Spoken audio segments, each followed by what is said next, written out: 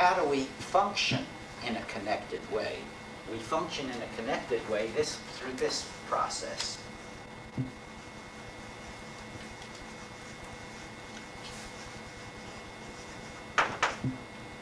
What I've just said was the open system that can receive information and that can transfer information is the optimal system. And that happens through the communication process.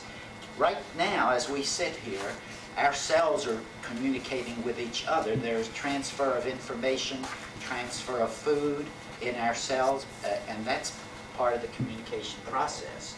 And uh, it's the way in which we're able to maintain our connectedness. So if you look at it this way, that the connectedness is structurally the way we're structured, and communication is the way we maintain that structure, that is a function. So if you look at it as structure and function, you talk, you think about connectedness as structure and communication as function. Now, uh, let me, uh, I've uh, talked about the fully functioning person. I want to switch now and take a moment to talk about the non-fully functional or the dysfunctional person because let's see if we switch and look at, the dis at dysfunction, whether these concepts serve us in good stead. That is, if they're durable concepts, they ought to be just as usable in describing dysfunction as function. And, and uh, when you look at the study that I indicated about loneliness and the, the uh, dysfunctional immune system, we find that the individual who is dysfunctional in communication is also dysfunctional this way too. In other words, the person who is detached from relationships to others, who does not make a connection, who does not, has no way of communicating, no way of staying in touch with other people, is also a person who is dysfunctional throughout her or his uh, human system. So that the, the capacity to stay in touch, the capacity to stay in contact through communication gives us really the basis for maintaining our connectedness. Now, when you look at, at uh, dysfunction, if you take a book in abnormal psychology, you'll find about a hundred different ways that people can, can have dysfunction. They can be depressed, they can be manic, they can be uh, phobic, they can be uh, they can be dissociative, uh, that is, they can forget their past. There are a lot of ways in which persons can be dysfunctional, and all you have to do, you, we could get a list or open a, a uh, abnormal psychology book, but you know, there's one thing, one phenomenon that is common to all dysfunction, and that is disruption in communication. Think about your patients and think about the ways in which they are not connected, the ways in which they do not communicate adequately, their dysfunction in maintaining contact with themselves and with others. No matter what psychopathology you see, it can be varied all over the place. You're going to find communication dysfunction.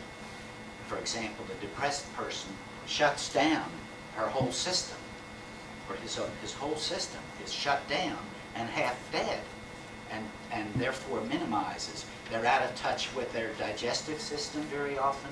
They're out of touch, they, they are not able to, they're out of touch with their physiological system. They're not able to, to relax, to put it to rest. They will be hyperactive and uh, have insomnia.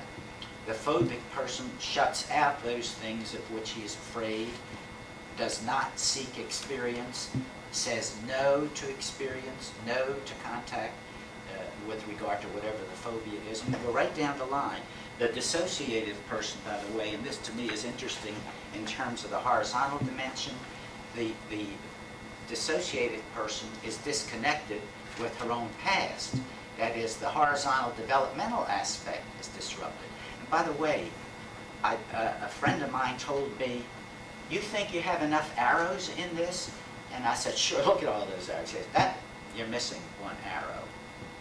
Missing one arrow? Where could I possibly put it? He says, see that horizontal dimension? That arrow has to go both ways. that the connectedness, the communication goes back and forth, and by golly, he was right.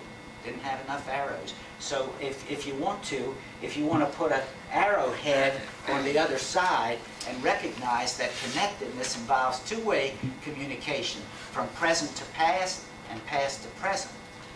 And he's right. And now, I, there may be, you may see other arrows, so please, let me know if I've left out any more arrows, okay? Because I'd like to put them all in. They, they, they look nice. Okay, let's see, where was I? Oh, I was talking about dysfunction. I think it's time now for me to just pause and before I go to a new paragraph to see what you all are thinking and what, what questions you might have about this. What I've said is the human system thrives this way and also gets into trouble this way. And that's all there is to it. Now, what we do about it in psychotherapy, well, that's another story. We'll get to that, check and see if you have any questions or anything, or any assertions, or if you want to argue, please argue it a little bit.